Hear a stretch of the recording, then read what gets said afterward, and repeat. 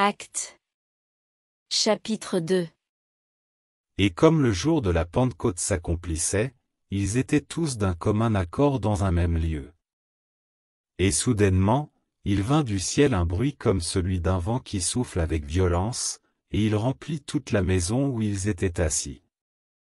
Alors leur apparurent des langues divisées comme du feu et il s'en posa une sur chacun d'eux.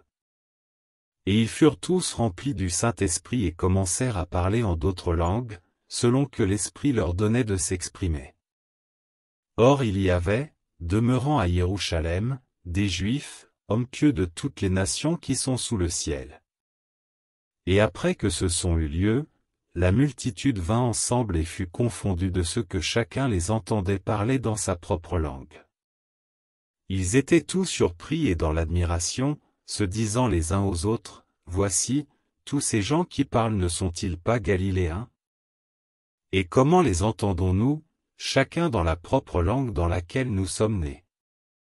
Parthes et Mèdes et Élamites, et ceux qui habitent la Mésopotamie, la Judée et la Cappadoce, le Pont et l'Asie, la Phrygie et la Pamphylie, l'Égypte et le territoire de la Libye qui est près de Cyrène, et ceux qui sont venus de Rome, aussi bien juifs que prosélytes, crétois et arabes, nous les entendons parler en nos langues des merveilles d'Élohim. Or tous étaient étonnés et en perplexité, se disant l'un à l'autre, qu'est-ce que cela veut dire? Mais d'autres, se moquant, disaient, ils sont pleins de vin doux. Mais Pétros se présentant avec les onze, éleva sa voix et leur dit, Hommes juifs et vous tous qui habitez à Jérusalem, que ceci vous soit connu et que vos oreilles reçoivent mes paroles. Car ceux-ci ne sont pas ivres comme vous le supposez, car c'est la troisième heure du jour. Mais c'est ici ce qui a été dit par le moyen du prophète Joël, et il arrivera dans les derniers jours, dit Elohim, que je répandrai de mon esprit sur toute chair, et vos fils et vos filles prophétiseront, et vos jeunes gens auront des visions, et vos vieillards auront des rêves. Et même en ces jours-là, je répandrai de mon esprit sur mes esclaves, hommes et femmes, et ils prophétiseront. Et je donnerai des prodiges en haut dans le ciel et des signes en bas sur la terre, du sang et du feu et une vapeur de fumée. Le soleil se changera en ténèbres et la lune en sang, avant que le grand et notable jour du Seigneur vienne. Et il arrivera que quiconque invoquera le nom du Seigneur sera sauvé. Hommes israélites, écoutez ces paroles. Yehoshua, le Nazaréen, homme désigné d'Élohim parmi vous, par les miracles, les prodiges et les signes, qu'Élohim a produits par lui au milieu de vous, comme vous-même vous le savez, celui-ci, livré selon le conseil déterminé et selon la préscience d'Élohim, vous l'avez pris, et vous l'avez fait mourir, l'ayant attaché par le moyen des mains des violeurs de la Torah. Elohim l'a ressuscité, ayant rompu les douleurs d'enfantement de la mort, parce qu'il n'était pas possible qu'il soit retenu par elle. Car David dit de lui, Je voyais d'avance le Seigneur devant moi continuellement, parce qu'il est à ma droite, afin que je ne sois pas ébranlé. C'est pourquoi, mon cœur s'est réjoui et ma langue a exulté. Et même encore, ma chair demeurera sur l'espérance. Car tu n'abandonneras pas mon âme dans le Hadès et tu ne permettras pas que ton sein voie la corruption. Tu m'as fait connaître le chemin de la vie, tu me rempliras de joie dans ta présence. Homme frère, qu'il soit légal pour moi de vous parler avec liberté au sujet du patriarche David, et qu'il a fini, et qu'il a été enseveli, et que son sépulcre est au milieu de nous jusqu'à ce jour.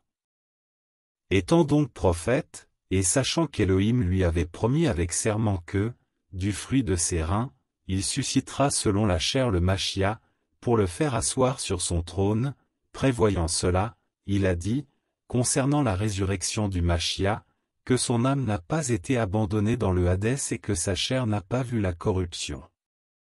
Elohim a ressuscité ce Yehoshua, nous en sommes tous témoins. Élevé donc à la droite d'Élohim et ayant reçu du Père la promesse du Saint-Esprit, il a répandu ce que vous voyez et entendez maintenant.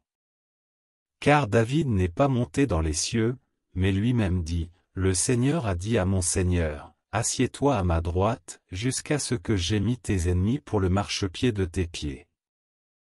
Que toute la maison d'Israël sache donc avec certitude qu'Élohim l'a fait et Seigneur et Machia, ce Yehoshua que vous avez crucifié. Or, ayant entendu ces choses, ils eurent le cœur transpercé et ils dirent à Pétros et aux autres apôtres, Hommes frères, que ferons-nous? Et Pétros leur dit, Repentez-vous et que chacun de vous soit baptisé au nom de Yehoshua Machia pour le pardon des péchés, et vous recevrez le don du Saint-Esprit. Car la promesse est pour vous, et pour vos enfants et pour tous ceux qui sont au loin, en aussi grand nombre que le Seigneur notre Elohim les appellera. Et par beaucoup d'autres paroles, il rendait témoignage et les exhortait en disant, Sauvez-vous de cette génération tordue. Ceux donc qui acceptèrent sa parole avec joie furent en effet baptisés. Et environ trois mille âmes furent ajoutées ce jour-là. Et ils persévéraient tous dans la doctrine des apôtres, dans la communion fraternelle, dans la fraction du pain et dans les prières. Et toute âme avait de la crainte, et beaucoup de prodiges et de signes se produisaient par le moyen des apôtres. Mais tous ceux qui croyaient étaient ensemble dans le même lieu, et ils avaient toutes choses communes. Ils vendaient leurs propriétés et leurs possessions, et les distribuaient à tous selon que chacun en avait besoin.